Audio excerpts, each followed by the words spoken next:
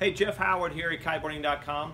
We've got the NP full suit, short sleeve mission wetsuit. These are really nice suits. I'm telling you, Neil Pryde has definitely stepped up their mark in their wetsuits. And if you're looking for something, usually this is our full winter type suit down here. You're looking at a 2-3 most of it is two, as well as it has all glued stitched seams in here, which is, it gets more expensive in manufacturing the suit. It just makes them a lot, lot smoother in the manufacturing, as well as um, how they hug onto your body. The really nice thing I like about this suit on the front here is this is full sealed out rubber right here. That keeps that core uh, a lot warmer, keeps the shock of that cold water if it does hit you in the chest. It's a really nice, as well as they have that in the back area. This is to keep the core area warmer. Um, now another thing that they have is the sealed out neck, which is really nice. This is a full sealed out rubber uh, right here on the front that keeps that water from coming down uh, around the neck area. It's got the full heavy duty zipper in the back. Um, has full line neoprene in here. As you can see, this is their charcoal to keep the smell down, as well as keep you a little bit warmer. It puts that fleece layer right up against the skin and it's amazing stretch. That's what's happening with a lot of these suits is all this stretchability is making them a lot more comfortable than they used to be. Really cool thing that they've got down here is the knee pad area.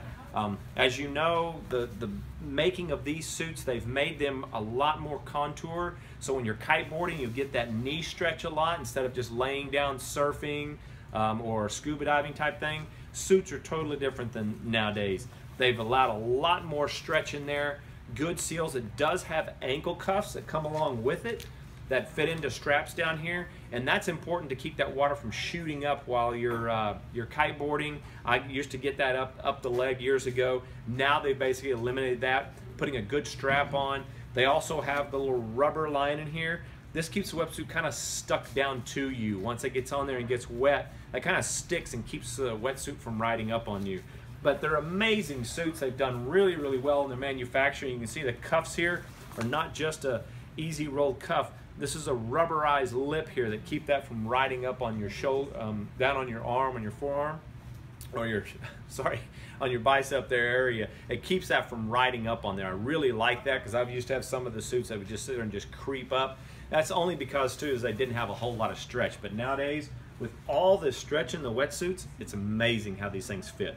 Anyway, if you have any questions about what wetsuit to get, this is an amazing deal. These are normally well in the $250 range, right around that area. We're gonna have them, I think, for 100 and, 180 bucks. You can't beat that. If you've got the size, you can win. Look in there. If you have any calls or you have any questions, please give us a call here at kiteboarding.com.